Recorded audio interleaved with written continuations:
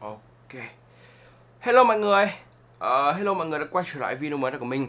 Cũng khá lâu rồi, khoảng 2 tuần nay mình không làm cái video nào cả. Uh, Vì là do tuần vừa rồi mình bị cúm. Không biết là giọng mình còn bị cúm không? Nhưng mà nếu như mà mọi người nghe thấy thì mong là mọi người cũng sẽ thông cảm cho mình. Và ở cái video này mình sẽ nói cho mọi người là tại sao nên cắt tóc ngắn vào mùa hè. Và mùa hè thì có những cái kiểu tóc phổ biến như là ờ, uh, pompadour này uh, Mori pompadour hay là slick back hoặc là undercut vớt hết được về đằng sau.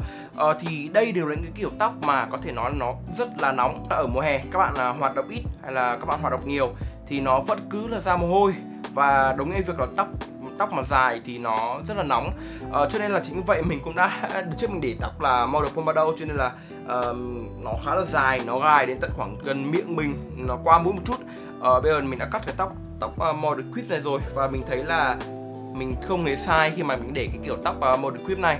Uh, mình thấy thực sự rất là thích với kiểu này vì là nó cũng khá là giống với cả kiểu tóc ngày xưa của mình. Ờ, nhưng mà ở cái phần đằng sau này này phần đỉnh tóc này thì nó sẽ hơi thiên hướng quip quip một chút là hơi đẩy về trước.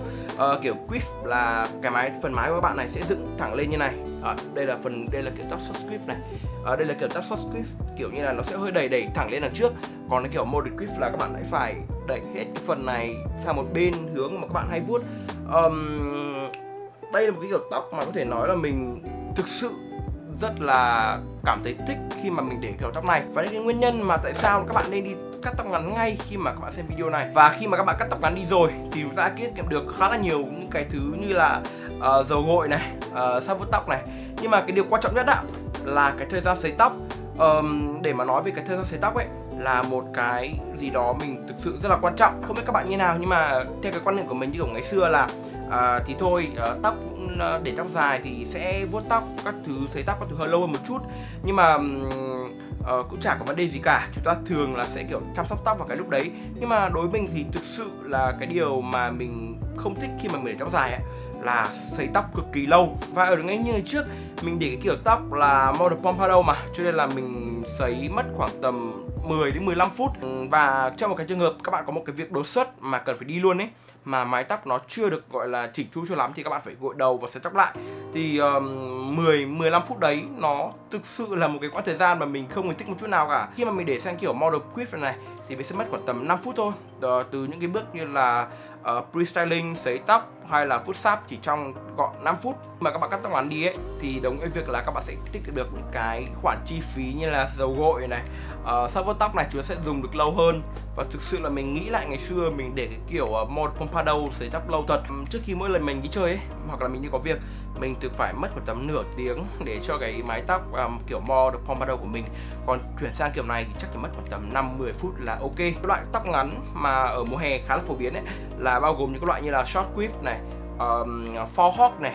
Uh, Model pompadour hay là crop texture crop? Mình để cái kiểu tóc short quip này khoảng 2 năm nay rồi cứ đến mùa hè là mình cắt tóc short quip còn ở mùa đông thì mình lại để tóc là Model pompadour và thực ra mình nói đây á là mọi người không nên để kiểu tóc dài vào mùa hè bởi vì là nó sẽ kéo theo rất là nhiều thứ.